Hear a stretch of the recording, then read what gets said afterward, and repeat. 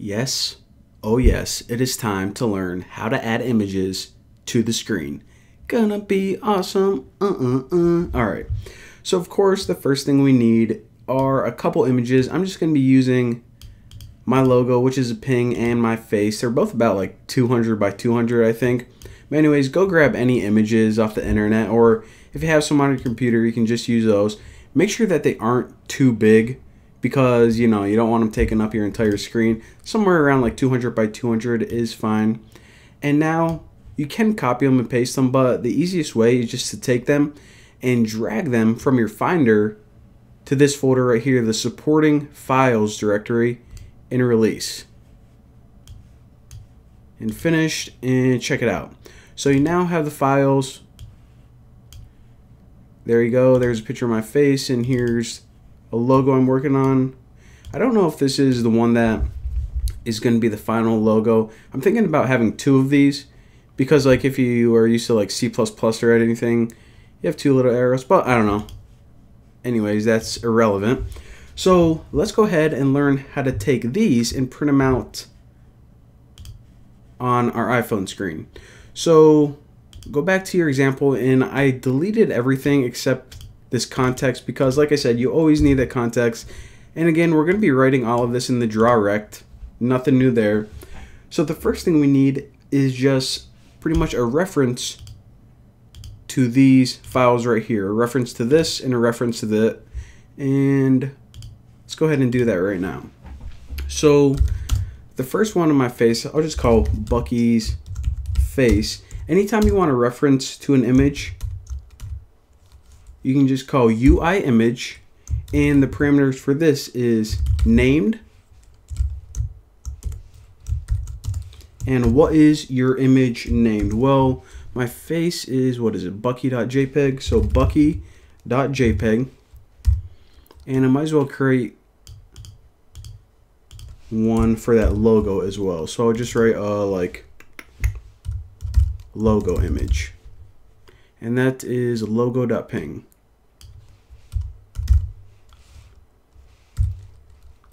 Alright, so now we can actually use these variables or constants instead of just the file names or anything like that. So you need to turn it into a UI image object before you can print it out using this drawrect or any of these cool core graphic functions.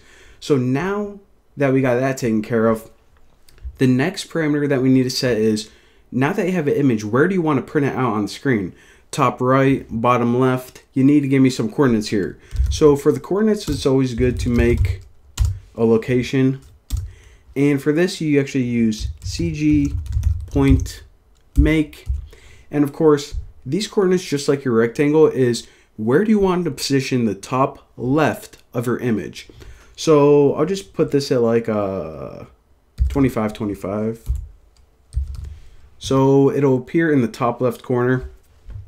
And now, once we got all that taken care of, we need to actually draw this image. And what one are we going to use? We'll draw my face first. So take this, and this is how you draw on the screen. So that's the image, and put a question mark after it, and that just checks if it's nil or not. And we want to say draw at point.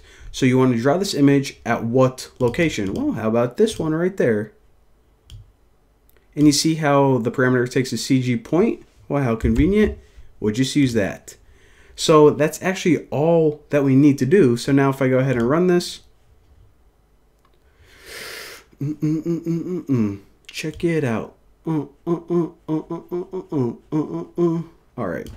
So what it did is got a reference to my face and it went over 25, down 25. It says, okay, I'm going to draw the image right here.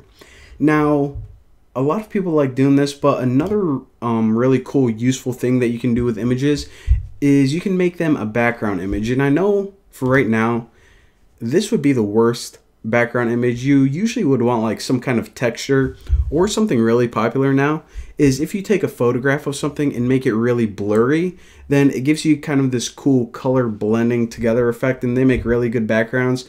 But just for this example, I'll use this, which whenever we stretch it out as a background, it's going to look really dumb, but you know, it'll demonstrate what I'm trying to achieve.